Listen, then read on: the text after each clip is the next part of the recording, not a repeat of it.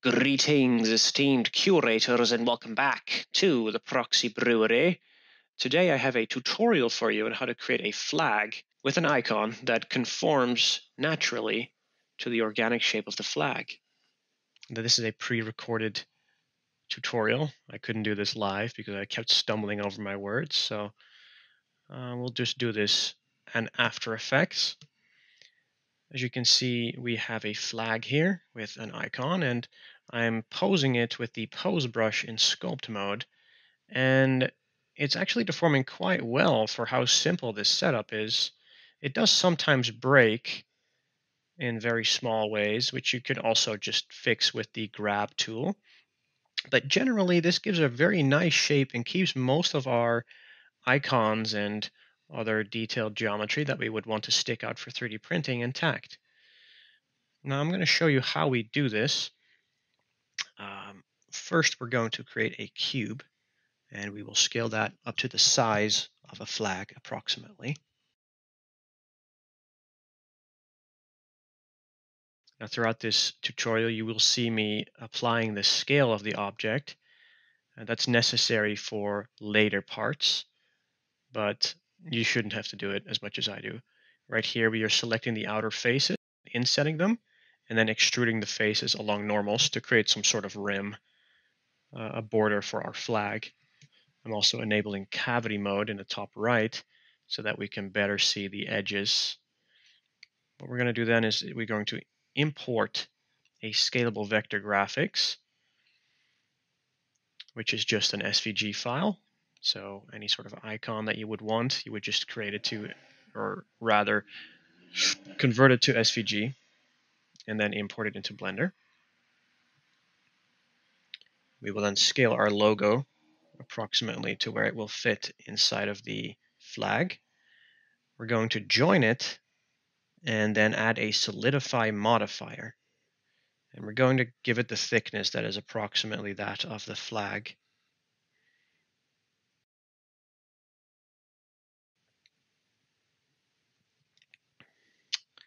Visual geometry to mesh.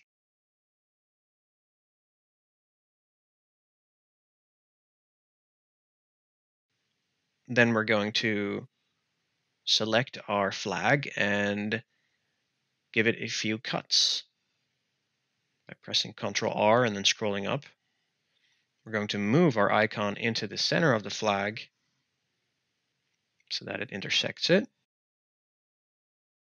And then we're going to give it a remesh modifier to give it the appropriate amount of polygons that we need, but not too much. This will ensure that it can follow along with the mesh deform that we're going to apply later. Also make sure to remove disconnected. Check that off. We don't want anything to be removed. Visual geometry to mesh. And basically that's all the setup we need. At this point we can create a cube and scale it to encompass both our flag and our icon.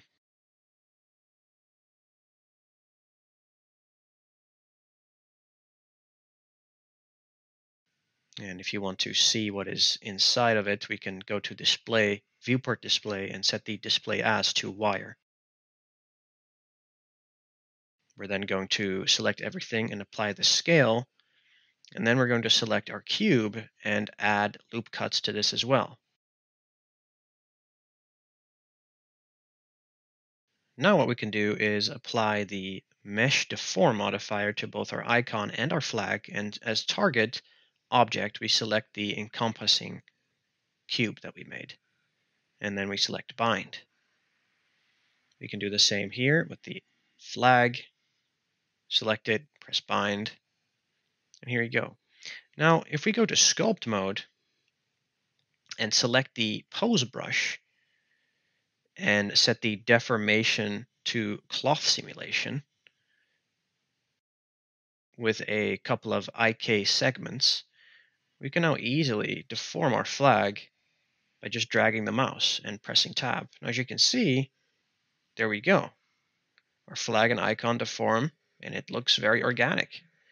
It is a bit blocky though, so what we can do is add a subdivision modifier to the flag, which will remove most of the weird um, visible polygons, or faces rather.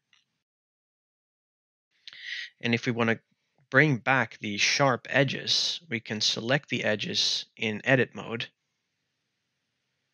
and apply a crease.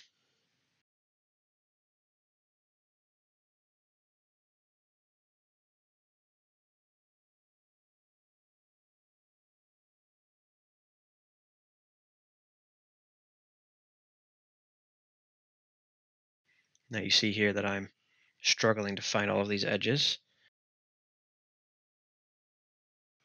It's mostly up to personal preference, how you want it to look.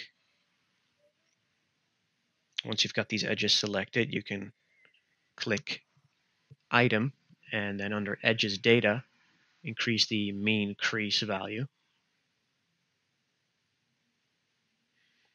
I'm trying to select these inner edges as well.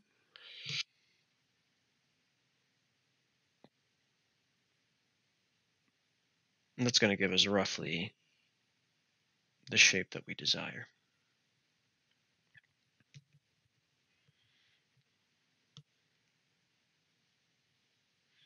And there you go.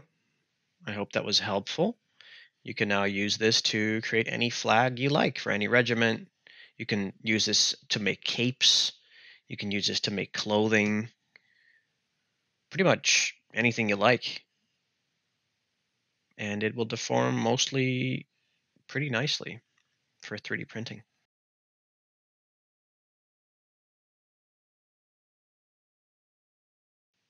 All right, thank you so much for watching. That's all I have for you today. Make sure to subscribe, like, leave a comment if it was helpful. And uh, if you want this file, you can join my Discord, and I'll leave this file in the free files channel. Okay, thank you very much, and until next time.